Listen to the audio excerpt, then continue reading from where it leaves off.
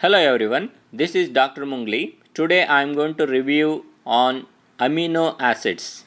So there are 20 standard amino acids and all of these 20 standard amino acids so they will be having specific codons and they will be part of polypeptide chain. That's the definition for standard amino acids. So any whenever you use an name standard amino acids so standard amino acids will have a codon and they will be part of polypeptide chain there are some non-standard amino acids which are basically derivatives or which are basically the part of metabolic intermediates and they won't be part of a polypeptide chain. So those are all non-standard amino acids. So the standard amino acids will be part of polypeptide chain and they will be having codons. Now each of those 20 standard amino acids they all will follow one common thing and that is they have got alpha carbon in the center they have got carboxylate group and they have got amino group that is NH3 plus they have got H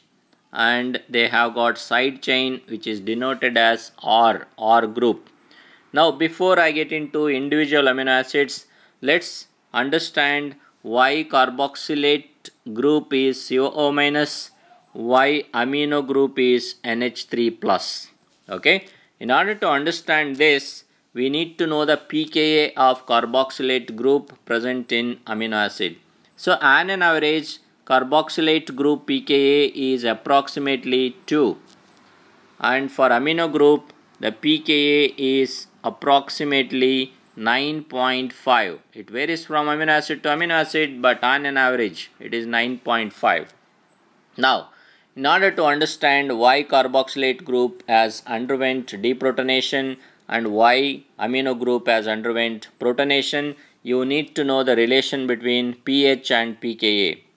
I have made a separate video on relationship between pH and pKa in res with respect to amino acids. You can watch that video. There is a link above here. So you can click the link and watch the video to understand the relation between pH and pKa overall in to say it simple so whenever our pH that is the blood pH is 7.4 so when the pH is more than pKa means our blood pH is 7.4 and pKa of carboxylate carboxylate group is 2 so when the pH is more than pKa there will be deprotonation.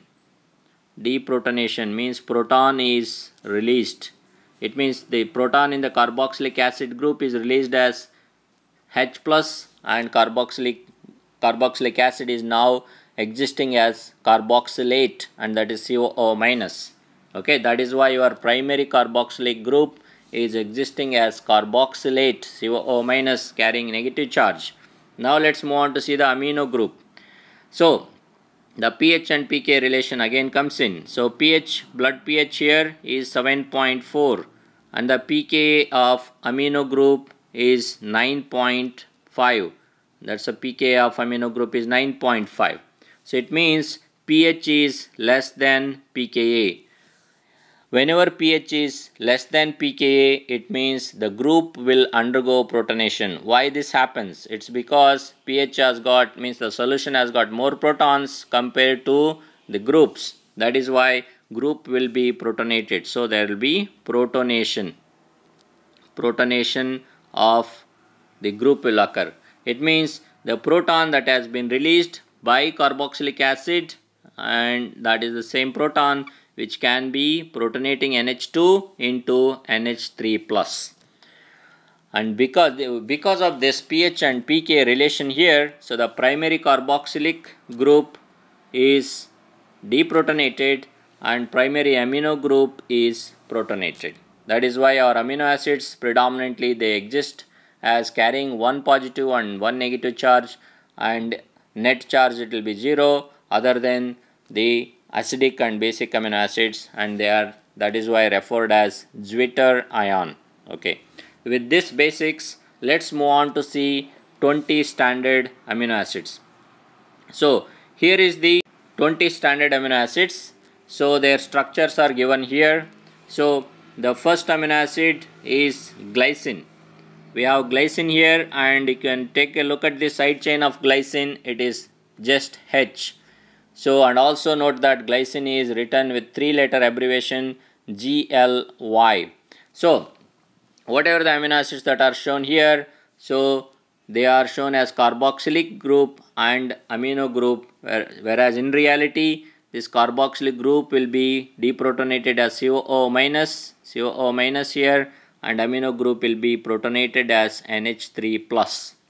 So we have a glycine. So this glycine is the most simplest amino acid out of all the 20 standard amino acids and it is its molecular weight will be very less. So that is why glycine is can be accommodated wherever small little space is available in amino in a polypeptide chain.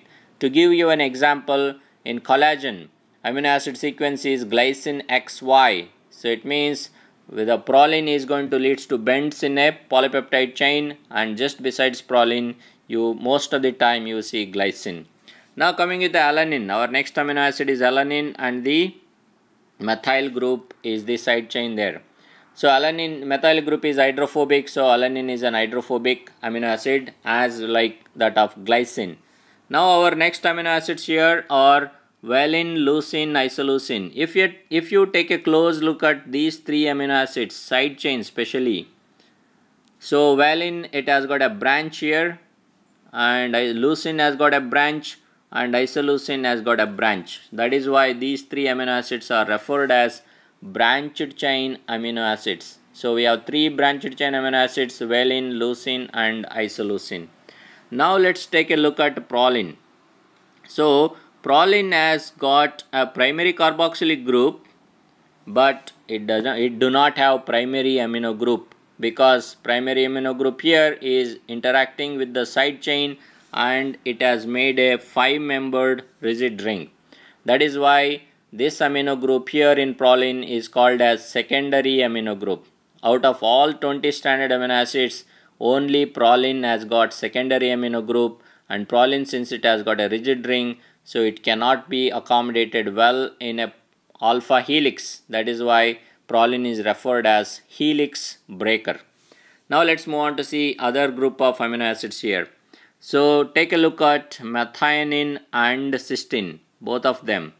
Now the methionine has got sulfur here and the cysteine has got sulfur. Only difference here is sulfur present in the methionine is not free whereas the sulfur present in cysteine is free. It means it, it has got a thiol group there and that can interact with the neighboring cysteine molecule and make cystine by forming disulfide bridge. So there are two sulfur containing amino acids one is methionine other is cysteine. Now let's move on to see other amino acids here. So we have serine and threonine. If you take a look at the side chain of serine and threonine both of them they have got hydroxyl group that is why serine and threonine are hydroxyl containing amino acids along with there is one more hydroxyl containing amino acid here and that is tyrosine. Tyrosine is an hydroxyl containing amino acid. Importance of hydroxyl containing amino acids is they will participate in post translational modification of a protein molecule. Examples for post translational modification is phosphorylation most common reversible post translational modification. Or it can be glycation addition of carbohydrate or it can be addition of uh, lipid that is lipidation whenever post translational modification is going on majority of time it is the hydroxyl containing amino acids that are preferred. Now let's move on to see other category here. So aspartic acid and the glutamic acid. In reality they exist as aspartate and glutamate in deprotonated form side chains. So both of them they have got acidic like carboxylic group in their side chain and that they can they will undergo deprotonation under physiological pH 7.4 and that's why they will carry net negative charge and that is why aspartate and glutamate they are referred as negatively charged amino acid. Now let's see the asparagine and glutamine. If you take a look at the asparagine and glutamine side chain, so both of them are polar but they do not carry any net charge under physiological pH. So they are neutral amino basically they are referred as neutral amino acids polar but neutral Now let's move on to see other group here and that is lysine. Then we have arginine and histidine all the three of them lysine arginine and uh, histidine so all three of them are referred as positively charged amino acids or basic amino acids because at their physiological ph they carry net positive charge. So let's take a look at histidine here. So the pka of side chain pka side chain pka of histidine is 6 when it is isolated. And the side chain pka of histidine when it is becoming part of a polypeptide chain so it will convert eh, basically it will be changing into 7 and that 7 is equal to almost nearer to 7.4 physiological pH. That's why histidine it will exist as 50% protonated and 50% deprotonated. This is the reason why histidine is acting as a physiological buffer. So whichever the protein which has got high concentration of histidine so histidine is acting as a physiological buffer because it has got ability to donate and accept protons so it is acting as a buffer here in a polypeptide chain. That's an importance of histidine there.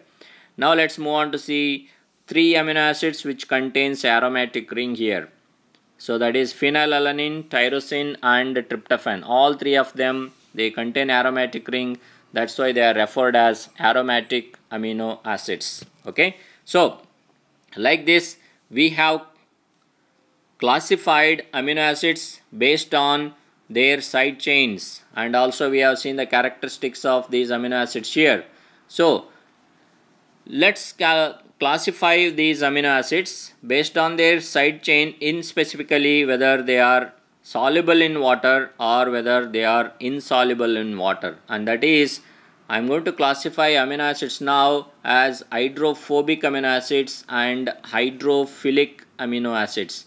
Now the hydrophobic amino acids are the ones which are which hate water so they don't they are not soluble in water whereas hydrophilic amino acids they are soluble in water they are able to make hydrogen bonds with water molecule and keep a protein in soluble state. Okay now let's see what are the hydrophobic amino acids. So hydrophobic amino acids are we have glycine, alanine, valine, leucine, isoleucine, proline, methionine all of them are hydrophobic. Now apart from them so we have phenylalanine which is a hydrophobic amino acid and tryptophan which is also hydrophobic amino acid. Okay so it is it is weakly positive basically it is weakly polar but I would like to classify this tryptophan into more of non-polar than polar amino acids so we have here glycine number 1 alanine that is number 2 valine number 3 leucine number 4 isoleucine number 5 proline number 6 methionine number 7 phenylalanine number 8 and tryptophan number 9 so there are 9 hydrophobic amino acids and you all need to memorize all of them. Glycine alanine 3 branched chain amino acids valine leucine isoleucine proline which is a amino acid methionine sulfur containing amino acid phenylalanine tryptophan, two aromatic amino acid here out of three. All of them are hydrophobic and note that hydrophobic amino acids in a globular protein they are safely buried in the interior core whereas in the membrane protein hydrophobic amino acids will be present wherever the protein is spanning the membrane. Okay? So these are the details about hydrophobic amino acids.